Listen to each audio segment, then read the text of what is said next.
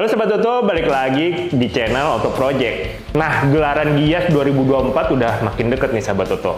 Dan para pecinta otomotif bakal dimanjakan sama uh, launching-launching mobil baru.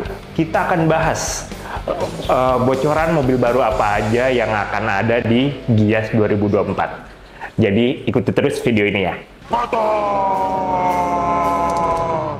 Ngobrol seputar otomotif. Nah, sebelum lanjut video ini, jangan lupa subscribe channel Auto Project ya, sahabat Toto. Untuk mobil yang pertama ada dari negeri Korea nih, sahabat Toto. Dikabarkan katanya Hyundai Ioniq 5N atau versi tertinggi dari Ioniq 5 bakal masuk di Indonesia dan lebih tepatnya di launching di Gias 2024. Nah, untuk uh, Ioniq 5N sendiri ini memang punya performa yang lebih tinggi dibandingkan Ioniq 5 biasa ya sahabat Toto. Ioniq 5N ini memiliki tenaga maksimum hingga 650 PS dan torsi maksimum hingga 770 Nm nih sahabat Toto. Dengan dukungan dual motor yang memungkinkan mesin berputar hingga 21.000 RPM.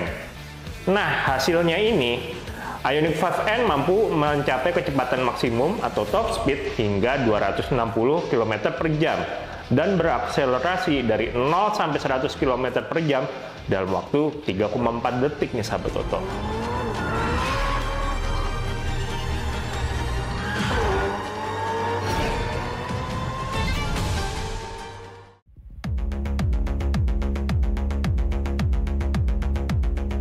Mobil selanjutnya ada Cherry Jayco J7 nih sahabat Toto.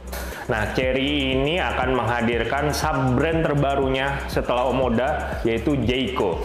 Nah, untuk perkenalan pertama sub-brand Jayco di Indonesia, khususnya di Gias, kabarnya akan meluncurkan salah satu SUV andalan Jayco nih sahabat Toto yaitu Jayco J7. J7 ini merupakan SUV yang menawarkan desain yang stylish dan juga modern nih sahabat Toto.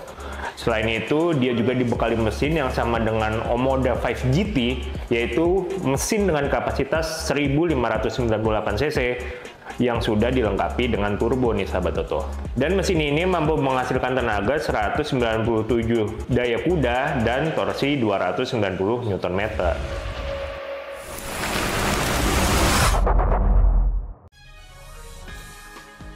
Itu ada brand asal China yaitu GAC yang akan meluncurkan mobil listrik terbarunya untuk di pasar Indonesia yaitu GAC Ion Hyper HT, sahabat Toto.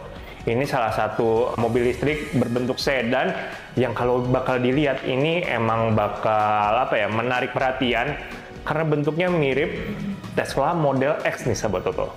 Nah, kenapa bisa dibilang mirip? Karena uh, Hyper HT ini dibekali pintu belakang model Gullwing atau sayap camar jadi emang kayak mirip banget si Tesla Model X itu nih sahabat Toto. Motor listriknya sendiri yang dipakai oleh Hyper HT ini punya dua pilihan tenaga nih sahabat Toto, yaitu 241 dk dan 355 Nm dan varian satunya lagi yaitu 335 dk dan torsinya 430 Nm nih sahabat Toto.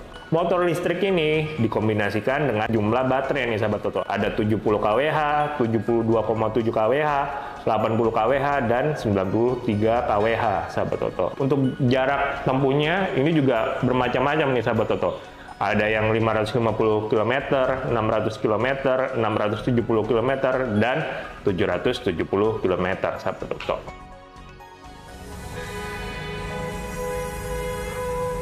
Mobil terakhir yaitu ada Mitsubishi Triton ya sahabat Toto. Nah, Mitsubishi Triton sendiri sebenarnya di Thailand udah diluncurkan ya sahabat Toto. Kita termasuk ya lumayan telat lah masuknya. Tapi kabarnya di Gias 2024 ini bakal hadir nih Mitsubishi Triton sahabat Toto dengan desain tampilan yang baru dan mesin yang baru juga nih sahabat Toto. Mitsubishi Triton yang baru nanti akan memiliki dimensi yang lebih besar nih sahabat Toto dibandingkan model sebelumnya yaitu lebih panjang 55 mm, lebih lebar 115 mm, dan tingginya juga lebih tinggi 35 mm nih sahabat Toto. Untuk mesinnya sendiri, Mitsubishi Triton menawarkan mesin dengan kapasitas 2422 cc.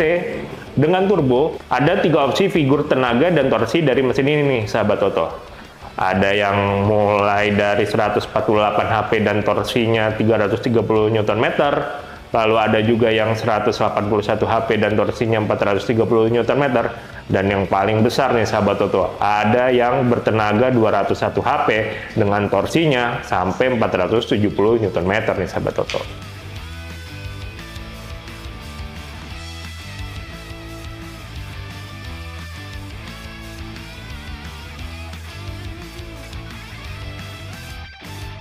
Selain mobil yang udah disebutin tadi, mungkin ada uh, kejutan lainnya nih di Gias 2024. Mungkin ada mobil-mobil lain yang bakal diluncurin, kita tunggu aja.